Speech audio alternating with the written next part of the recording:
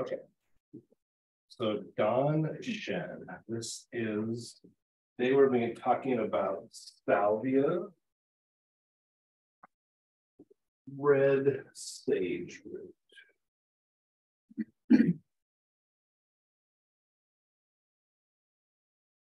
Salvia, or what we call red sage root. The Latin of this is Salvia miltiorrhiza.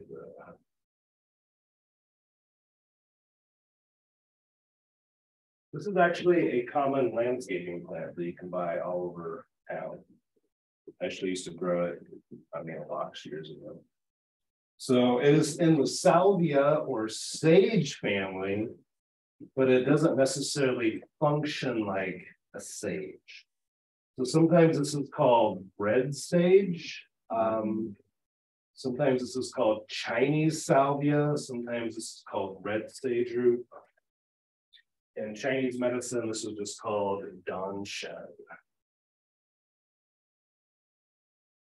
Dan Shen. So Dan Shen, Dan um, often means reddish or red or purplish. Shen obviously means spirit. This is actually one of the five legendary spiritual plants of Chinese medicine also. Um, I'll pass this around. Uh, this is somewhat common in America, like it's getting more common. You know how we talked about hawthorn and it's literally just like the most beneficial herb for the heart and all the amazing things it does for the heart and blood vessels, like everything imaginable. This is just the Chinese version of that. The main difference is that Dan Shen has a much more powerful blood thinning property and blood moving property that Hawthorn doesn't necessarily have. Um, which makes it really, really, really good for clotting and blood clots. So I'll pass this around. Really easy herb to grow in your yard. I'm sure the aerial portions are probably used and have some benefits since it's a sage family herb. Um, but but we mostly use the root for what we're going to be talking about today. Okay. This is often in Chinese medicine and old Chinese medicine, this is called the herb of the heart spirit. Because we have like five shens, there's five different plants that affect the five internal organs. This is the main one for the um, heart. So it often obviously combines well with what other famous Chinese heart herb or not herb, but mushroom. Reishi. So one of the greatest combinations that we have is red sage with reishi mushroom. So its energy is cool, without doubt. Its action, its directionality is outward, because it's a circulatory stimulant. So there's some differences between this and Hawthorn that we'll we'll look at, but um, let's start with just the cardiovascular effects of this plant. So red sage root is one of the classic, the classic heart tonic from Chinese medicine. And by heart tonic, we mean something that has a broad spectrum strengthening, you know, antioxidant, anti-inflammatory effect on the heart, just like Hawthorn. Um, so when we have someone that has any, literally any kind of heart problem, any kind of heart disease, any kind of family history of heart problems, this is the herb we're going to use.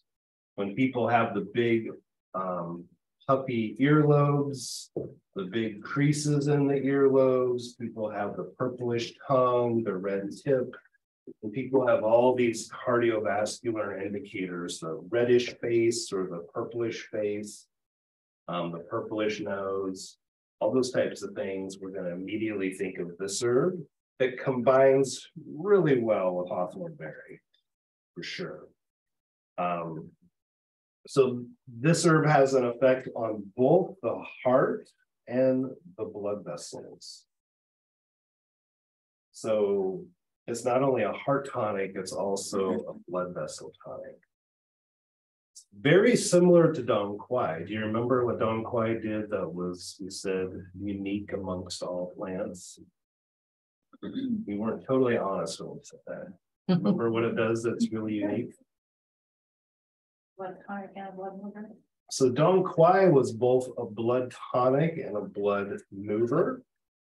And Chinese red sage root is the same. It is both a blood tonic and a blood mover. So the question becomes, what's the distinction? And here's the clinical insight is that Dong Quai is a little bit more heavily favored as a blood tonic. It's most of its action strengthens the blood and a smaller percent of it moves the blood where the red sage root is a reverse. The majority of its effects are moving the blood and thinning the blood where only a small percentage of it actually tonifies the blood. But it still makes it a safer option, right? Because like we said, and especially in Chinese medicine, we get really concerned about moving circulation, that the effect of moving blood and circulation can actually weaken the blood to some degree. This is one of the really in-depth nuances of Chinese medicine. So this herb bypasses all those concerns and just does it all. So it's often obviously mm-hmm. combined with Dong Quai for like thousands of conditions. So, okay, so with the heart, we're going to use this for people that have actual heart disease, have had a heart attack, have artery disease, blocked arteries, congested arteries, people that have had stents, people that have had heart catheterization, people that have had strokes. Um, this is also one of the main herbs we're going to try to use to help prevent heart disease, like hawthorn. This is one of our main cardio preventatives. We, there's a lot of studies that show it can help prevent the likelihood of strokes, heart attacks, heart disease. Um, the effects of red sage root are so strong that in a lot of parts of China and hospitals, it's actually given as an injection during or right after a heart attack, heart surgery, because it's been shown to protect death of the heart tissue. Like if you do have an actual heart attack, part of the problem is part of your heart dies and can eventually kind of regain function and come back to life somewhat, but it's usually always some function. It's been shown to help prevent that from happening some, but to also reverse the effects of it afterwards. It's often used during heart surgery, after heart surgery, during heart attacks, after heart attack, as an injection or as an IV. We don't have access to that here. Although one of my teachers, long time ago, had the injections of it somehow. Um, okay, so we're going to use this for poor circulation anywhere in the body. what is unique about red sage root that should be really emphasized is that it actually increases blood flow to every organ and tissue. No other circulation herb that I know of does that, meaning it affects the brain, the liver, the kidney, the spleen, the liver, um, the intestines, the stomach. It increases blood flow to every every part of the body. And that's why it's used so much in Chinese medicine because you can use it to literally improve the health of any organ. So um, we use it anytime people have heart palpitations, chest pressure, chest pain, shortness of breath, we use it anytime people have poor circulation and blood flow. Um, we use this, was one of our main, we talked about this herb for hypertension. Remember, this was one of our main top, probably five herbs for hypertension. Um, That's why it does not interact with hypertensive medications, but it can lower blood pressure by itself. So we just want to be aware that if we give this to someone on a blood pressure medication, we want to make sure we're monitoring their blood pressure because it can lower it. This is a great herb to help people wean off of blood pressure medication, or if people have to go off of a certain blood pressure medication. This is a good one. Okay. Um, the only challenge with it is that it, it really does make the blood less thick, less clotted, less clumpy. So um, we call that an anti-thrombotic in herbal medicine. This is uh, anti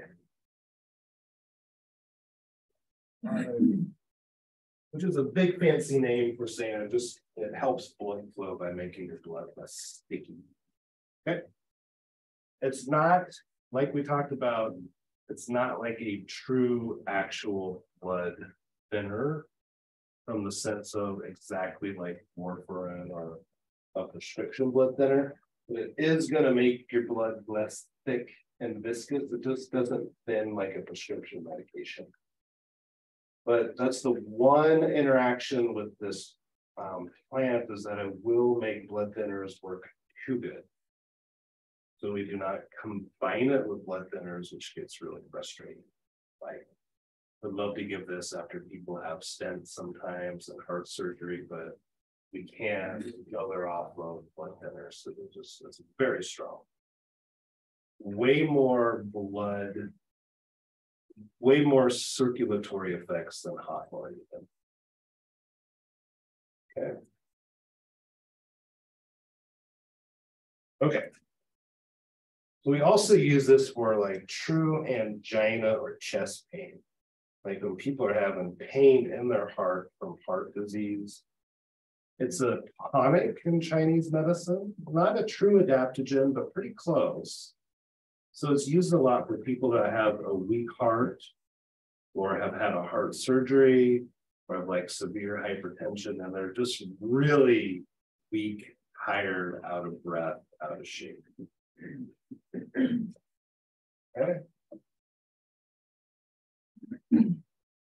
There is a famous Chinese formula called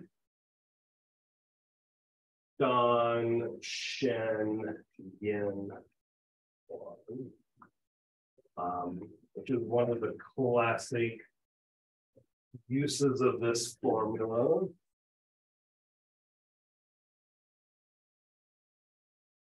Um, it has red sage. Oh. has red sage. It has cardamom and it has sandalwood. Okay.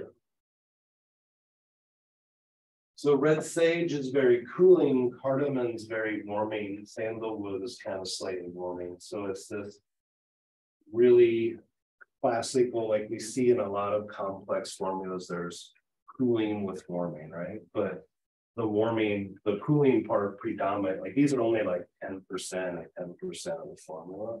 This is 80%.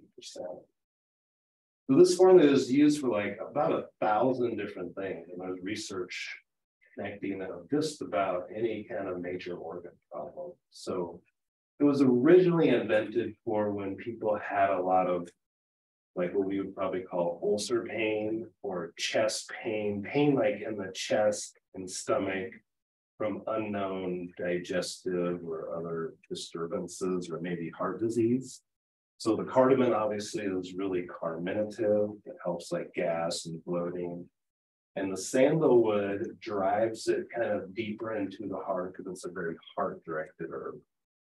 Um, so this is traditionally used for severe like digestive ulcers and stomach ulcers and ulcer pain. Um, but in modern research, it's now used more for like heart disease, heart disease, uh, blood pressure, angina, chest pain. But it's also been recently researched to be one of a very powerful formula for autoimmune diseases. So in that way, red sage root has recently, the last probably 20 years, been really heavily researched for autoimmune conditions. It has a immune modulating effect on an overactive immune system.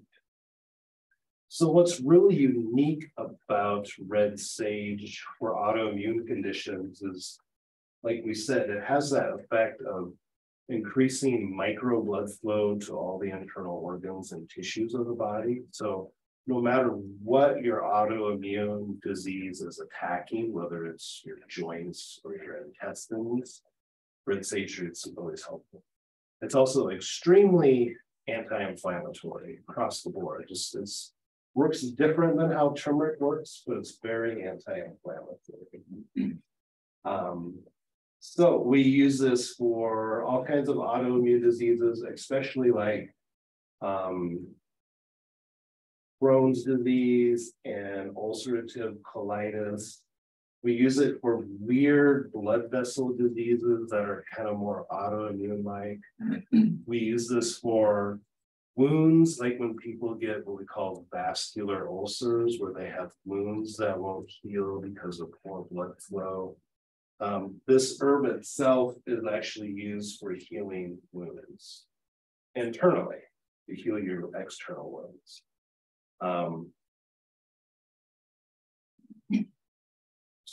else there. So we use it especially for scleroderma. That's the autoimmune disease where you start to turn to stone and your blood flow gets more and more restricted. Um, we use it for rheumatoid arthritis, MS, ALS, everything. With MS, it's been shown to prevent inflammation and lesions of the brain, reverse them some. So this herb and was probably not used only that way in ancient time, maybe, but this is like a, a good modern insight into it. Um, so any autoimmune disorder, which would be Hashimoto thyroiditis, right? Rheumatoid arthritis, psoriasis, eczema, um, colitis, ulcerative colitis, any kind of autoimmune circulatory disorder, there's some of those where your immune system might attacks your blood vessels and you get these the ulcers and things. That you use that formula or just the red sage or either? Either one, yeah. This this formula to me is just a little bit better suited when people are having like ulcer pain. Oh. Like pain in the chest, really bad. Nicholas, can people take it if they have low blood? You can take this herb if you have low blood pressure, but you just need to make sure, yeah, you don't go too low. If you have low blood pressure, you know, we would combine it probably like with ginseng or licorice to help your low blood pressure. Okay, so yeah, it's used for clotting disorders a lot.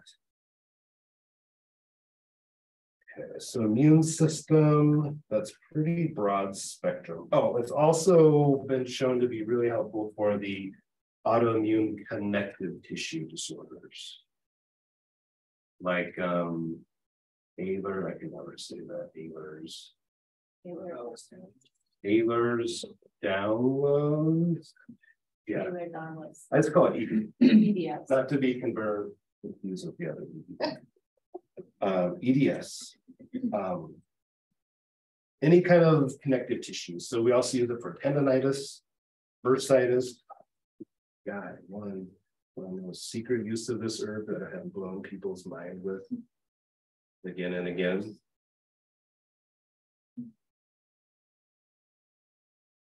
So this is an herb that targets blood flow, right? So in Chinese medicine, there's this idea called the 50 year shoulder. And it sounds kind of hokey, like, oh yeah, people age, blah, blah. Right. But well, I don't know why. When often people turn 50, they develop like shoulder bursitis, tendonitis type things or arthritis. And I've had a couple of clients that have had this. Uh, Ironically, all of them have been kind of like not natural medicine people. So they kind of came in, with good hefty like suspicion and. Eh, but you know, like no one, none of the rheumatoid doctors could really figure out what was going on. You know, it wasn't arthritis, it wasn't necessarily tendonitis, they just had like this severe debilitating like shoulder, like sharp stabbing, like blood stagnation pain. I don't know why, I mean, I can understand why, but this herb is really good for fifty year shoulder. But it also targets even the connective tissue of the shoulder a lot, like for tendonitis and bursitis, torn rotor cuff. It's a really amazing herb. It's used a lot topically in martial arts history for all kinds of bruising, right? Anytime you would have trauma, you would use this herb topically. This in martial arts is also the herb you get when you get the nice chest punch right into your heart. That really can mess you up big time. So when your sternum gets bruised or you get a lot of times deliberately they'll slap and punch people like right here because it like shocks you and it, it can actually rattle your heart and bruise your heart internally. So it's very dangerous. Um, it's not like outlawed in the UFC because I don't make people know it in America, but it's a really serious thing. You would always protect your chest traditionally. Um, so it's used a lot for that type of shoulder pride. I just had a guy the other day. He was so suspicious, like 50 year shoulder, okay, like whatever, you know, I could totally like resolve it too. He's not happy. So, he did physical therapy forever and he still like couldn't get his shoulder. It's just eh, 50 year shoulder affects only one side of your body. too. That's how you often know it's not both shoulders. You're like one side. You have 40 year knee, 50 year shoulder. Right at 40, usually the knees will go out for a lot of people. So there's like a 40 year knee herb, right? Which is the the type of angelica called du huo. It's called, often called rheumatism angelica that we use for the 40 year knee. It often translates as ox's knee. The herb. Okay. so if you were to use it topically and internally, would you, there's no essential oil option, would you brew a strong tea and apply it that way? Yeah, you could either uh brew a tea and soak an area in it, like a poultice or soak a. A rag in it, yeah. Or you could just actually just dip your injured area into the water or take a bath. Or you just make a tincture of it and apply it. topically. Mhm. Okay. I feel like there's more digestive uses, but that is the main, and by the way, when people get stomach ulcers, sometimes this pain is like severe. And we use it for intestinal ulcers too. Okay. Uh, gynecology, this is a super important herb because it, it really also targets the whole abdominal area. By the way, if you ever have a like an abdominal aneurysm or your abdominal artery is like partially blocked, this is like the main, that in the back of your nose somewhere you have a stent in your abdominal aorta because you have like a problem. Uh, this is the main herb to keep to help that. So if that runs in your family. That runs in your family. This is like the only herb that I know of that's absolutely specific for that. Yeah. But in gynecology, because it targets the abdomen, it's used for any kind of growth in the abdomen. So use it for uterine fibroids, ovarian cysts, endometriosis. This is one of our major herbs for all types of scar tissue. Scar tissue. Like yarrow or calendula, this would be like a Chinese version of what we would give people like after surgery, like we give yarrow and calendula to break down scar tissue, like how we give a liniment of that or take it internally. This would be the same way. Okay. Okay, what's also unique about this plant is it is, again, one of the Shen or one of the mind, nerve, or even spirit calming plants. So we're gonna use this for anytime we see what we call a restless spirit. What is, remember what that looks like from some of our old discussions? It will be the clinical. Mm-hmm.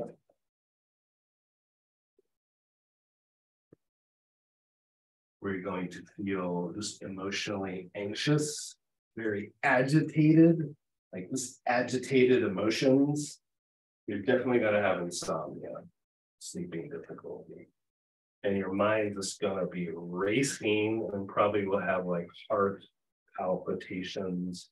Or like a stuffy, oppressive feeling in your heart or chest. And probably like some type of psychological, like anxiety, depression, PTSD, PTSD especially. So this happens a lot with PTSD. So anytime, this is actually one of our major PTSD. But anytime people are having emotional agitation, this is going to be one of our, our main plants we're going to consider. Okay. Um, like I said, it's really good for calming the nerves. One of the unique, one of the ways we use all circulatory herbs, remember, is to help to nerves to heal quicker.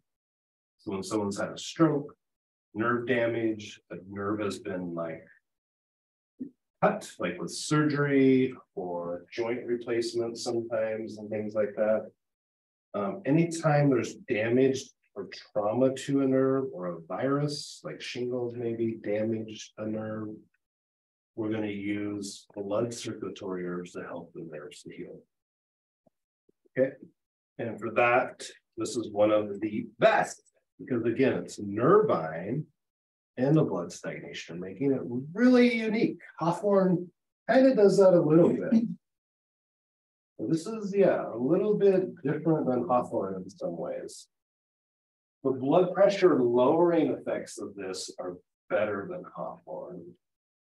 The effects on the heart and recovering from the heart and protecting the heart are about the same as Hawthorn. They're both like really massively researched. But this herb has more like makes the blood less thick, clotted, and clumpy. So it, it is used for blood clotting in Asia, like with injections or things. so it's really beneficial for people that have a family history of a clot, or if you've been on a blood thinner forever having a clot. By the way, once if you ever have a patient or a family member that has a blood clot, you know, often the medical approach is kind of just, well, you're gonna take this blood thinner or, you know, maybe a month or maybe a couple of weeks, maybe a little bit longer if it doesn't go away. And then it's like, you're back on your way, right? But we don't think that way in natural medicine. A blood clot would be like an extreme long-term process that manifests in this clot. So even after people have a clot, for at least a year, I tell people you need to do herbs that improve your circulation and blood flow. Um, so like ginkgo and this red sage would be two of the best that we would do for that. Okay. Um, also used a lot for tumors that are hard, like hard tumors and hard cancers as like a catalyst. And so it's used a lot in oncology for that purpose. Um, because it increases blood flow to the liver, it is used for uh, advanced liver disease like hepatitis, where the liver is starting to get beyond inflammation, where it's getting like scar tissue. So we call scar tissue medically, we call that fibrosis, right? Scar like tissue. So when you have fibrosis of the liver from long-term liver disease, we herb. We have fibrosis of the lungs from like some kind of long-term lung problem. Um, very, very helpful for. Um, the only other thing that I know it being used for is that it also has a bizarre effect on. Kidney disease, because hmm. again, it increases blood flow to the area in and around the kidney. So it's used a lot for people that have poor kidney function or kidney disease. Would it help with a pinched nerve from the disc? It is often used for pinched nerves and disc pain Like hands fall asleep? for sure. Yeah. Yeah, it's good for just regular like neuropathy and numbness and that too. Um, in Chinese medicine, to go back to that, when we say something calms your spirit. We mean it calms your mind, it cools your emotions off, it cools your emotions down. It cools the monkey mind down.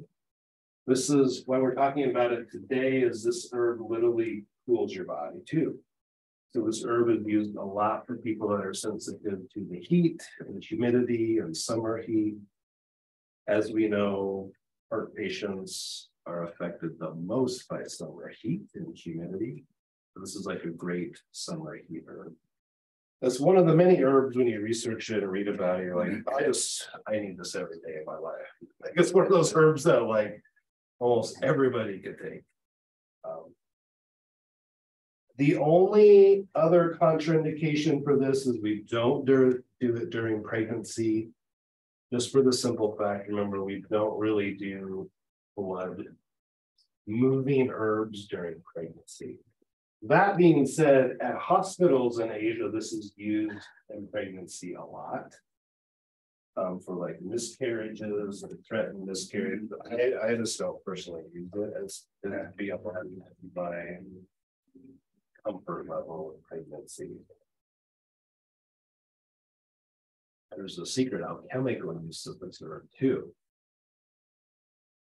In Chinese history. Uh, you give this herb when someone wants to fall in love. Someone wants to love it. You have them take this herb. There's something to the heart that. Uh, either prepares them for someone or it, um. I don't know what it does, how it does it, something. So it's to make someone fall in love, help someone fall in love. Okay, very similar to Rose in that way, right? Rose was really good for that. I think I forgot. It's also a very powerful antioxidant. I talked about that. It's just a really cool herb. One of those great like hawthorn hard herbs that you can take all summer long. Just to like kind of. Nurture yourself, right? There is the famous, I think we talked about it. The famous five spirit formula, right? That this is a part of. Okay. Okay, any other questions on Dan Shen, Chinese red sage? Well, it's really easy to grow. It's super cheap, even for like organic, good quality. Yeah, I have, I, I always know when a client has. Uses artificial sweetener, because like this, they feel different, their connective tissue feels different. yeah, Would this help? It's like hard, feeling, it's like, it's not pliable, like, oh, it should be. Yes. This help that, this is a good herb for maybe what we would call like connective tissue detox. okay, so would it not help if they won't get off the diet? It'll still help some, okay. yeah, it'll help compensate some, right? I just Right. like figure it out. Mhm. So you find with artificial, which ones, all of them or? Um, like. A hundred percent of the time when I ask a client after a treatment, do you drink diet soda or whatever, it's. Yep. I just, as soon as I put my hands on, it, I feel it. That's cool. Well, not cool for them. It's not cool for them. And it's like, you know, I'm not trying to be like, well, don't do that, you know what I mean? But Yeah, so that's helpful to I can say, try this. Mhm. Taper off the crap, yeah. yeah, yeah. You know, you don't do that. Yeah, I don't think people appreciate the effects of artificial sweeteners, very negative effects. Okay, so no other, any other questions with red sage or clinical applications? Um, one other question with cancer, so if it really brings blood flow in, there's sometimes always a balance with tumors between feeding the blood flow of the tumor and then. And then just bringing immune, you know, immunity to the tumor, so where does this fall when we of cancer? Yeah, it's not known to have any kind of an. Aggravating effect on blood flow as far as like increasing the, I mean, there's actually a lot of. Studies with it that it does like help different types of tumor growth and cancer growth, so. There's probably some complementary chemistry of it that keeps that in check. Yeah, I, I've never heard of anybody. My one teacher, Dr. Chen, that was a cancer specialist, who never mentioned it as like a concern, you know, like traditionally at all, so. I don't know. Probably just has some chemistry that's. Good questions. Um, yeah, any other questions? Yeah. So, um. It's kind of more of a broad question for more blood thinning herbs, but specifically this one, um. If you had someone that was predisposed to like factors of blood clotting disorders, Mhm. would this be something they would have to continue throughout their life to keep that at bay, or would it be something that might fix it? Yeah. After they take for a long period?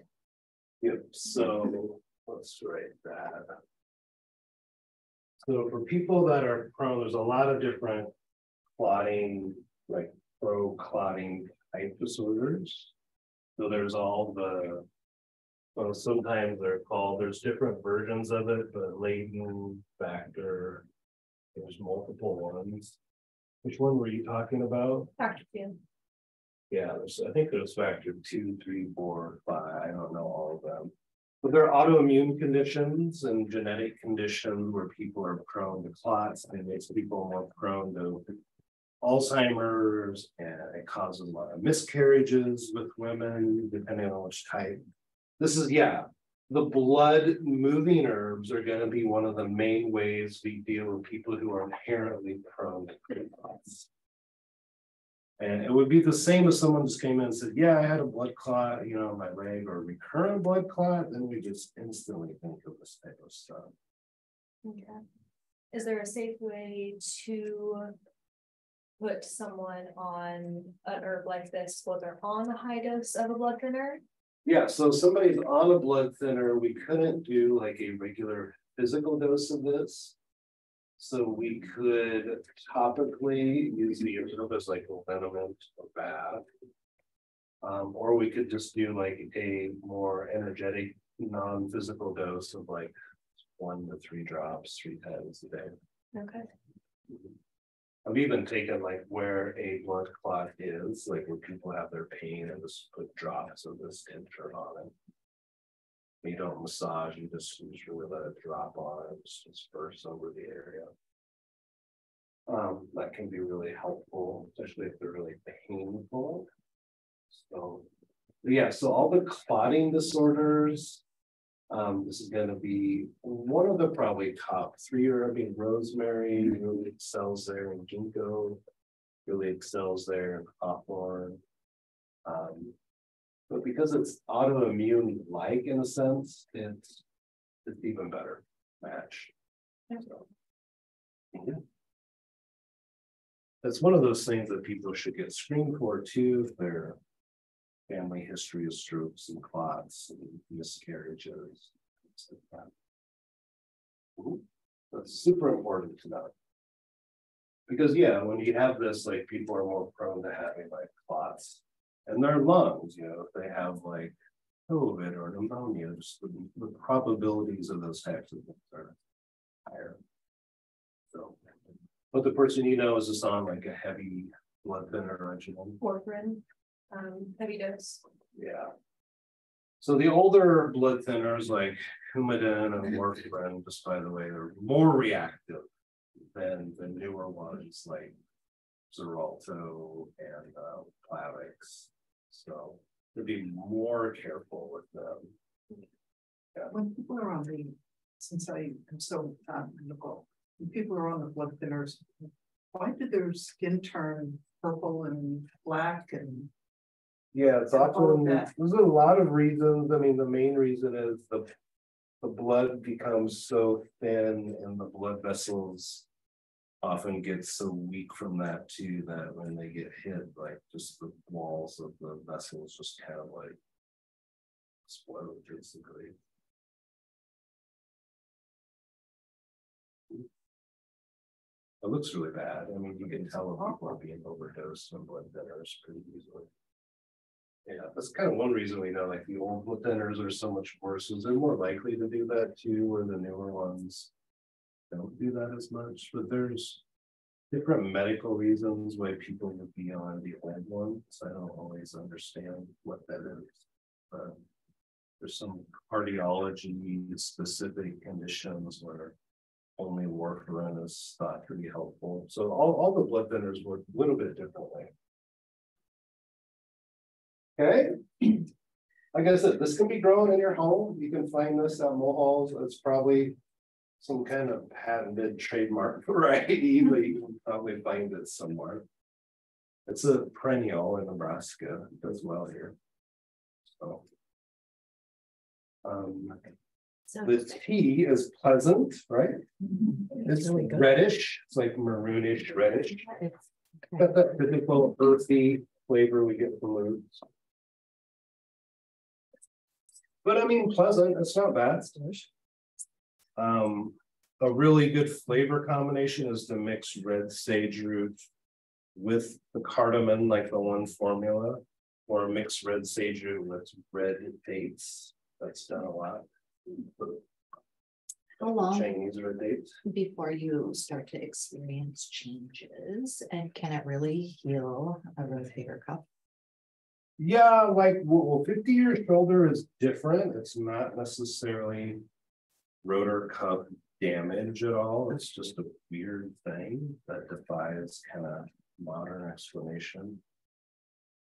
So you can expect to get pain relief from like fifty year shoulder. Or bursitis or tendonitis of the shoulder, I mean, usually some relief in a couple of weeks. You know, as a general rule, anytime someone's had surgery in an area, you're just talking like a slower response. So somebody has had like the shoulder scoped in the past.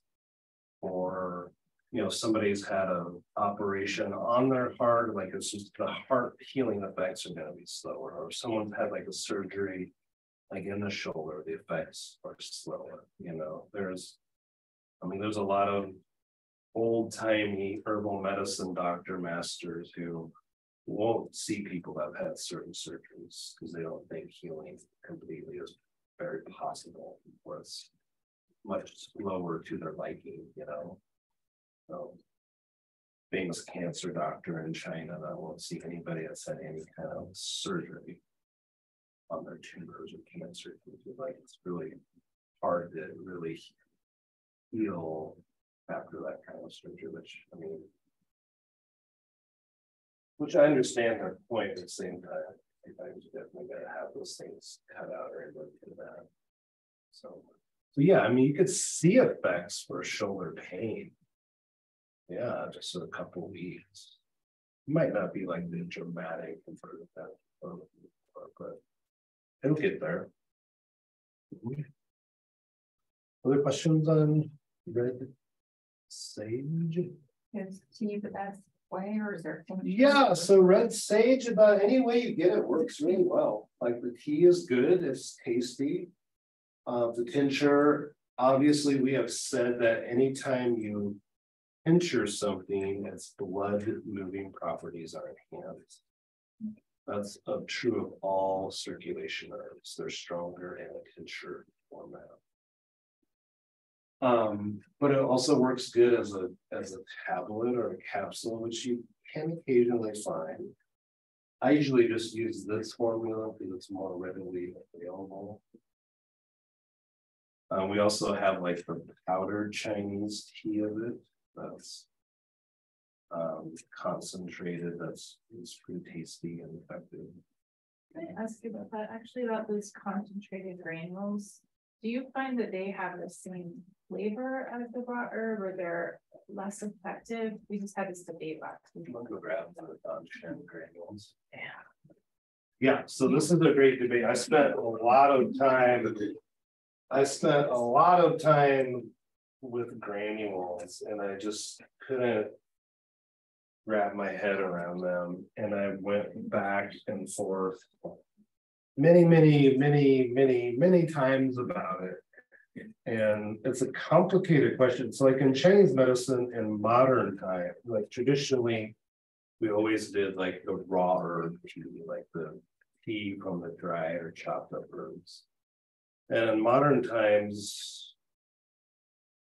It's much more common now to have what we call powdered herbal concentrate.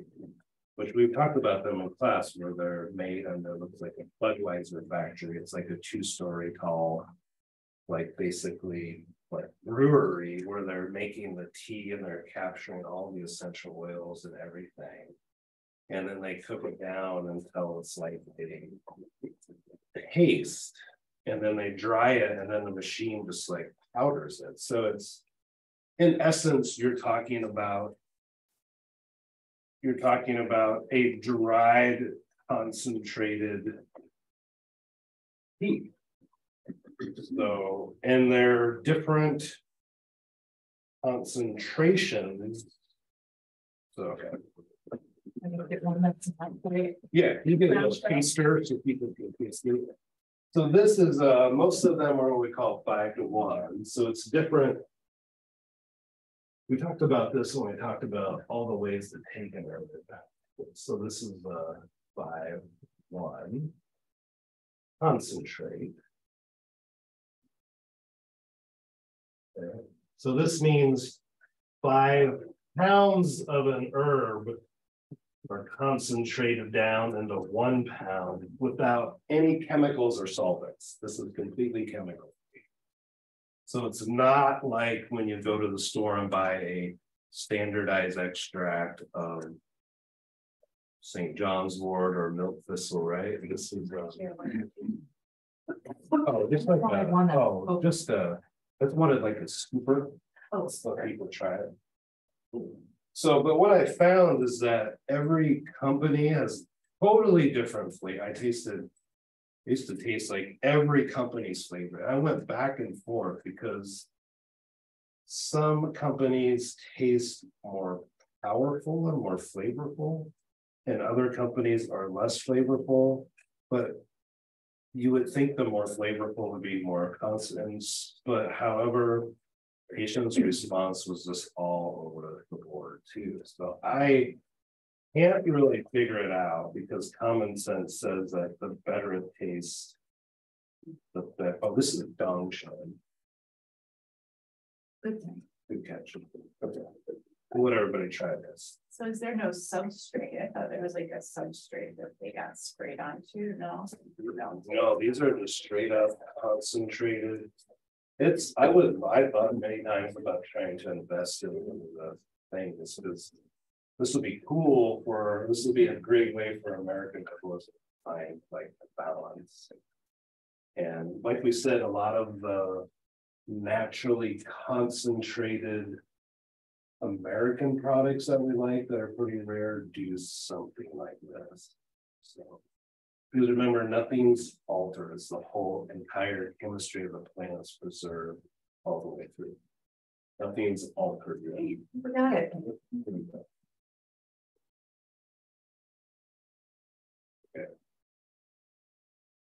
Oh, this is fun. Yes. So I'll pass this around. If you want to take a little shot of it. Um, if you want to try just the scoop itself, we'll pass this around. If you want to put some in your tea, get another little shot and add it, you can do that too. You can just take a little bit and taste it, but yeah, it's basically an instant concentrated tea. So I often try to tell clients that because all the Chinese formulas we use are made that way. And I try to tell people it's not, you know, it's not, it's not just powdered herbs. It's like a very complicated process that Um, if it was done in America, it would be like literally seven times the price it is, but because it's done in China, it's quite a bit cheaper. So these uh, are another good way, yeah, so what was the original question though, did I Well, answer? if you have, when it comes to us, do you find that they're as effective as the powders or? Whatever, that was our debate, is that the company we had been using for primary formulas switched several years ago from. Largely just the powders to the concentrates, and we're not making teas, they're just capsules, but. Several of the buts I was talking with said that they felt that they were not as effective as the original powders were, so. Is that subjective? Like, Oh, I mean the brand change, yeah, Yeah, but they were tasting them and didn't yeah, the. yeah. didn't- They're still different, yeah, some of them are really like whitish sterile looking and some of them are. Hmm. I can't wrap my head around it, so. I think it's just each manufacturer's got some kind of. Has some kind of proprietary process they're doing. so. Okay, so everybody's okay with this, the Chinese formulas are produced that way? No. Okay. So to me, these are like, these are like a tincture because they're like a little more naturally concentrated.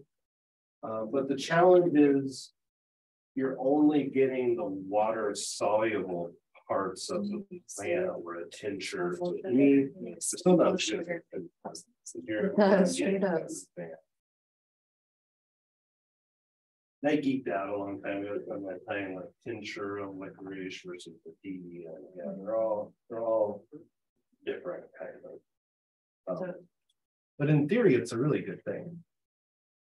Probably as a practitioner, the nice thing about these powders. And why I think in China they're changing is they're easy to dispense, they're easier for patients to take. They take up not much space compared to like the having the dry chopped herbs just so space intensive, you know. Takes up an entire room, or this would just be like a shelf for a huge pharmacy. So. Okay, So see, this is Dan Shen Xuan. So actually in Chinese medicine, things can get so geeky that this is actually, Xuan is from southern China, so Oh, like you know, depending on if it's from northern China or southern or a certain province, they'll have like a special little quirky thing. So this is southern Chinese pronunciation.